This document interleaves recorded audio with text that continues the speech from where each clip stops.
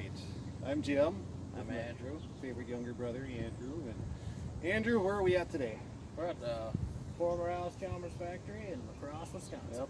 This is the plant that made all of your tillage tools from 1929 till 1969 for Allis Chalmers. At one time, they employed over a thousand people, and now they're um, remodeling it into apartments, and I think there's going to be some retail space on the floor. So this will be a little short video, but have a quick little look. This plow, made by hand in La Crosse, Wisconsin in 1848, is an example.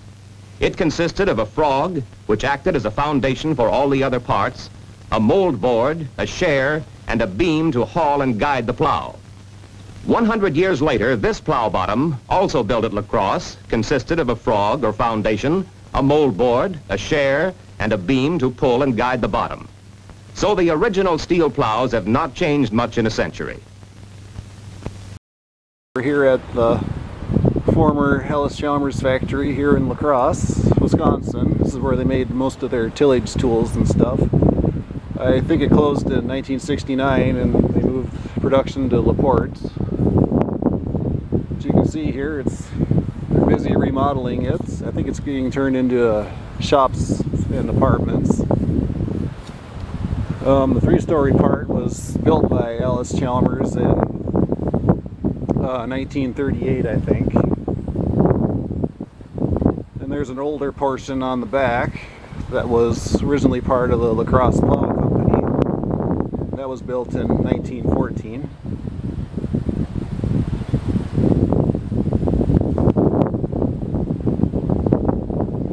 It's hard to see a lot because they have it all roped off and stuff.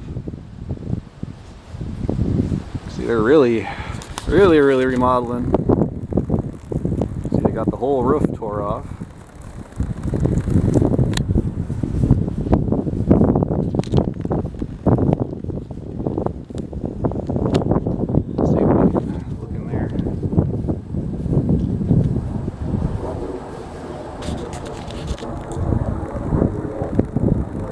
Really got it gutted.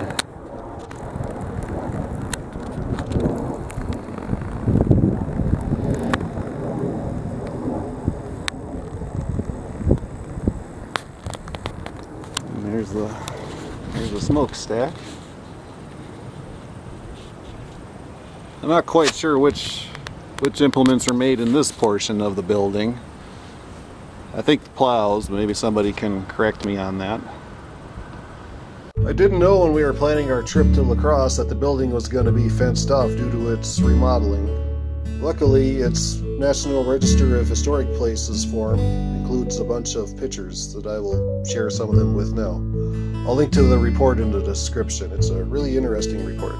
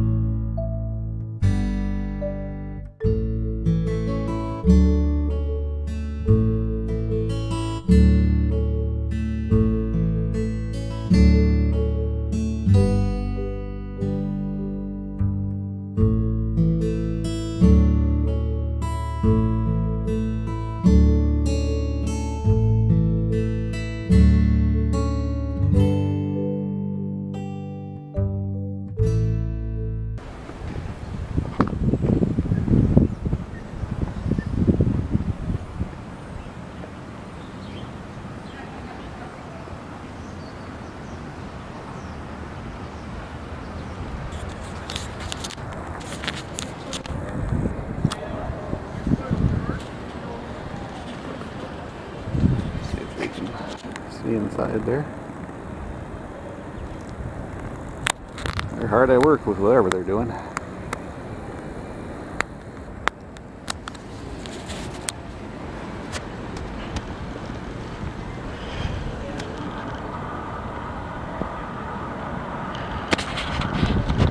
Another view.